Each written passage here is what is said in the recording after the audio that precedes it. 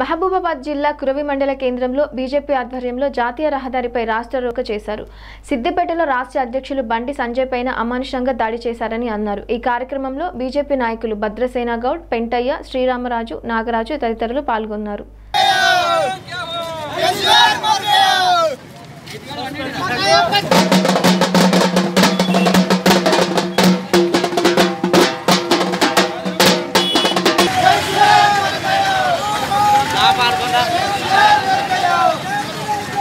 నిన్న మన రాష్ట్ర అధ్యక్షుడు బండి సంజయ్ గారు రఘునందన్ రావు గారిని కార్యకర్తల్ని సంజాయించడానికి హైదరాబాద్ నుంచి దుబ్బాక బయలుదేరితే మార్గ మధ్యంలో అరెస్టు చేయడంలో పోలీసుల అత్యుత్సవాన్ని తీవ్రంగా ఖండిస్తూ మరి ఎవరైతే ఈ ప్రకారంగా కనుక చూసుకుంటే భారతీయ జనతా పార్టీ పైన రఘునందన్ రావు గారి పైన టిఆర్ఎస్కి ఎంత భయం పుట్టింది అనుకోవచ్చు ఇది అయినంబడే తెర మొదలు పెట్టిండు పోలీసులే స్వయంగా ఇళ్ళకి వెళ్ళి భారతీయ జనతా పార్టీ నాయకులు కార్యకర్తలు భారతీయ భారతదేశంకి ఎట్లయితే బార్డర్లో బిఎస్ఎఫ్ జవాన్ కాపాడతారో భారతదేశాన్ని లోపల ఉండే కాపాడే నాయకులు పార్టీ కార్యకర్తలు ఎవరంటే భారతీయ జనతా పార్టీ నాయకులు.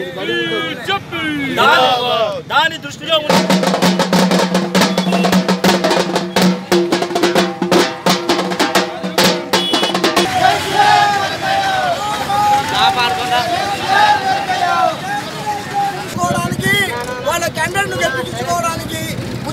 ఉద్దేశపూర్వకంగా ఒక ప్లాన్ పథకం ప్రకారంగా చేసి మన దుబ్బాకలో రఘునందనరావు గారి యొక్క చుట్టాల ఇంట్లో డబ్బులు పెట్టడము సాక్షాత్తు బయటపడింది కాబట్టి ఈ విధమైనటువంటి ర- ప్రజాస్వామ్యాన్ని కూలి యాత్ర కేసీఆర్ యొక్క శివయాత్ర తీయడం ఎందుకు గురించి అంటే దుబ్బాకలో జరిగినటువంటి అరాచక పాలన ఈ దుర్మార్గపు పాలనకు నిరసనగా ఈ యొక్క దిష్టిబొమ్మ దానం చేయడం జరుగుతుంది. నిరసనగా ఈ యొక్క కేసీఆర్ మరియు హరీష్ రావుల యొక్క దిష్టిబొమ్మలను దగ్ధం చేస్తున్నటువంటి కార్యక్రమానికి వేదికపై ఉన్నటువంటి పెద్దలు ఇక్కడ ఆశీర్వైనటువంటి భారతీయ కుటుంబ సభ్యులందరికీ కూడా పేరు పేరున ధన్యవాదములు.